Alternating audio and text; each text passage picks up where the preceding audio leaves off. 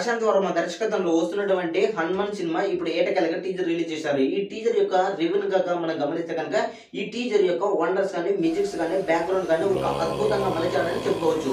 Young and dynamic director అయినప్పటికీ ఒక రాజమౌళి డైరెక్షన్లో ఈ సినిమా యొక్క టీజర్ అద్భుతంగా ఉందని తెలుస్తుంది. ఇదివరకు వచ్చినటువంటి అదుగురుషి టీజర్ కంటే ఇది ఒక అద్భుతంగా ఉంది హనుమాన్ టీజర్ అని చెప్పుకోవచ్చు. ఎందుకంటే ఒక గ్రాఫిక్స్ లొకేషన్ నుంచి తీసుకున్నటువంటి విజువల్స్ ఒక యంగ్ డైరెక్టర్ ఈ విధంగా చూపించడం అనేది ఒక అద్భుతం అని మనకు తెలుస్తుంది.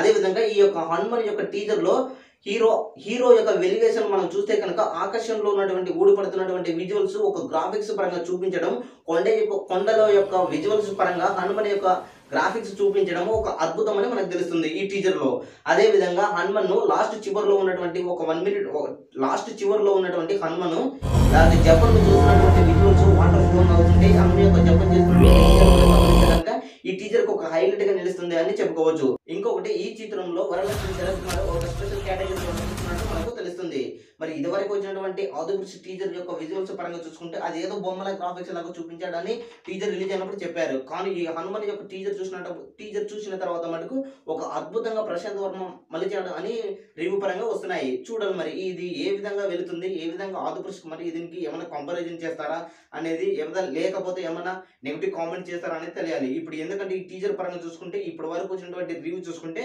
ఈ యొక్క హనుమన్ యొక్క టీజర్ అయితే అద్భుతంగా ఉందని తెలియడం జరుగుతుంది.